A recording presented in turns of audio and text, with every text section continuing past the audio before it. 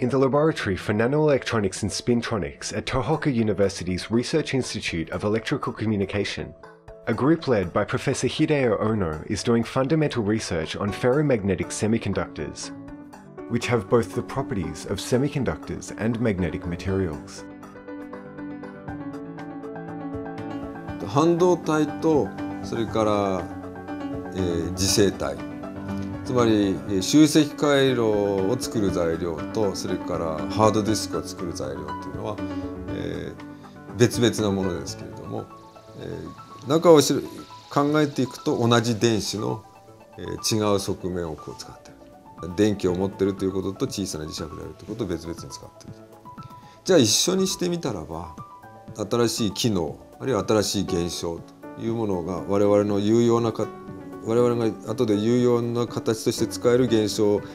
えーなどが見えてくるんじゃないかと。 If progress is made in research on ferromagnetic semiconductors, which combine properties from two formerly separate fields of research, it's expected that this will lead to applications such as high performance non volatile memory that doesn't use electric charge, and reconfigurable logic circuits. Associate Professor Matsugura, a member of Ono's research group, is studying three 5 compound semiconductors, such as gallium arsenide and indium arsenide. By doping these compounds with the magnetic element manganese, ferromagnetic materials can be produced. そもそも強磁性半導体ってそもそも我々が開発した材料で実際に何に使えるかってわからないまま研究を進めてきましたでいろんな方々と交流をとってああこういうことで使えるんじゃないかああいうことで使えるんじゃないかということで、 えー、と研究を進めてますでもちろん材料作成だけではなくて、えー、と実際に素子に加工して将来どういう応用の可能性があるかということも探索してます Tohoku University's Research Institute of Electrical Communication has a long history of R&D on magnetism and plenty of expertise. Many students take part in R&D on ferromagnetic semiconductors, which could support future spintronics. 今までの受精体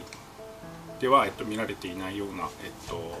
興味深い、えっと、物理現象新しい物理現象というものを見れる、えっと、新しいその物理の、えっと、場を提供する材料として、えっと、興味深く研究をしています。今まで半導体材料で培ってきました技術を生かしまして、えー、と金属室温での動作を目指して金属材料での、えー電解による自家反転自家方向制御を研究しています実験の準備やそれから結果が出るまでにすごく苦労があるのですがその苦労の分、えー良い結果が出た時にとても、えー何でしょう喜びがひとしおといいますか感慨深いものがあります Research like this doesn't always deliver the results that were expected. Professor Ono talks about why this kind of R&D is so interesting.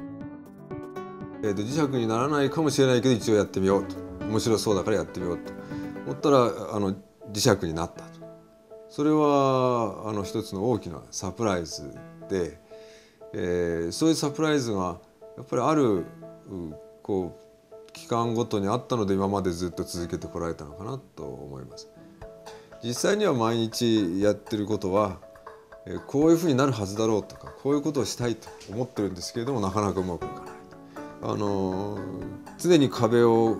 こう押したり探ったりして向こう側に行きたいのに行けないというのがまあ大体の毎日で時々ファッと光がさして少し進んでっていうのがまあそれが研究の多分面白さなんだと思いますけど、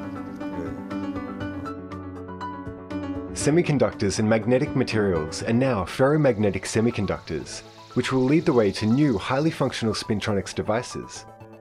Tohoku University's laboratory for nanoelectronics and spintronics will continue its R&D in pursuit of results that will help create the future.